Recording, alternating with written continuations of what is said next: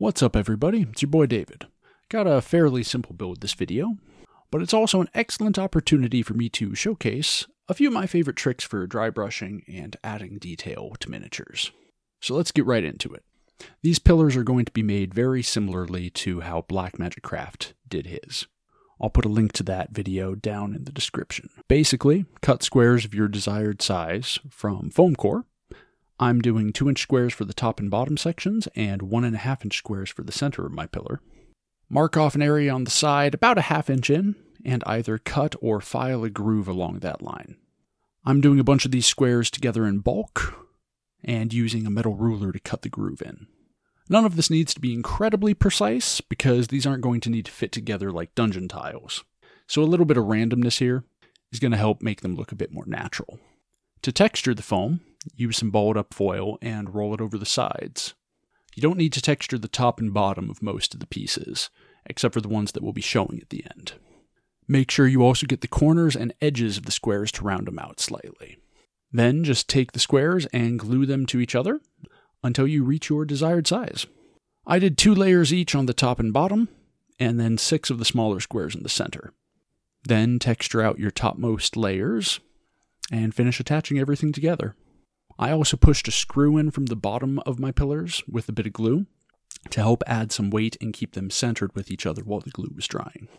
The statues on top are from a pack of fantasy soldiers I got online. These knights come from a Russian company and they stand about two inches tall. Perfect for this project. Trim off any flash, which is a bit of pain with these because of how soft the plastic is, and then rough up all the flat surfaces with a wire bristle brush.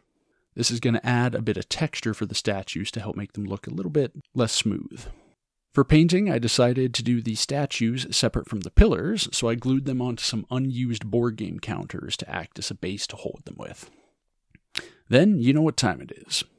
Black Magic base coat over everything, and go ahead and stipple on some to add a bit more texture on those flat areas again. I'm going to be using a handful of paints for this next step.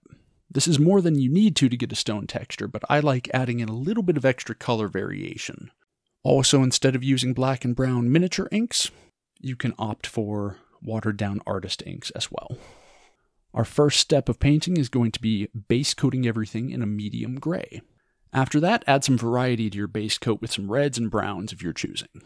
Next, we're going to highlight everything with a very light gray dry brush.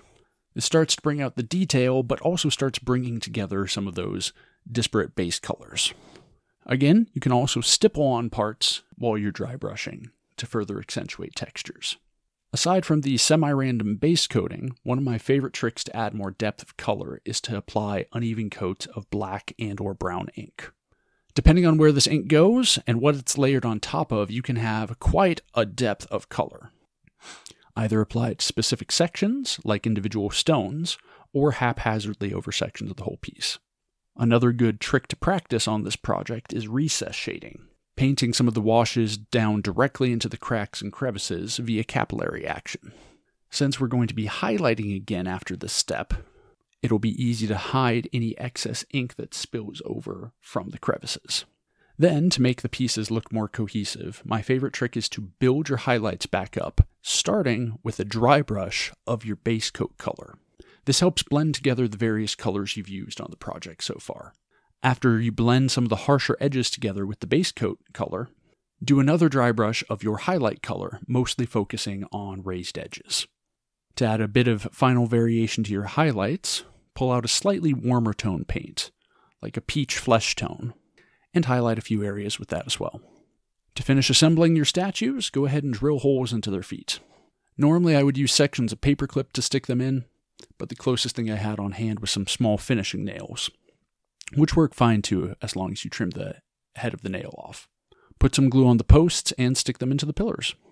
For a bit more detail, I decided to add some vegetation and dirt to the statues. This sheet of vines is quite handy for this sort of thing, though the pieces are very dry and brittle, so don't try to bend them very far. After gluing the vegetation on, add some flocking on areas where it seems appropriate, and then dust the flocking in the plants with some festive seasonal dry pigments. Once everything is put together and painted, I like to take one last look over the piece and decide if I need to make any final adjustments.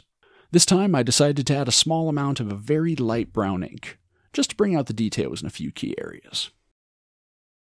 And that's it for today's build, folks. Stay safe, sane, and crafty out there, and I'll see you in the next video.